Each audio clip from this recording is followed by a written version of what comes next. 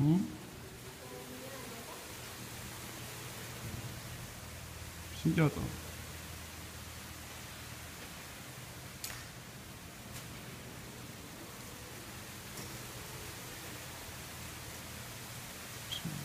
비닐인데 되게 신기하네 느낌.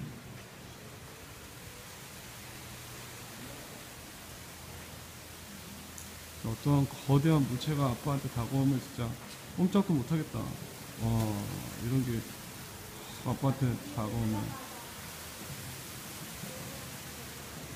그럴까? 와 신기하다. 어, 오늘 되게 아빠는 되게 재밌는데?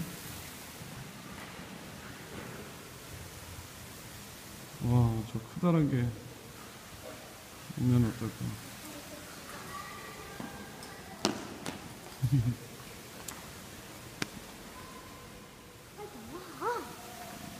신기하잖아. 볼수록 신기한데. 아니 하지 마. 있어.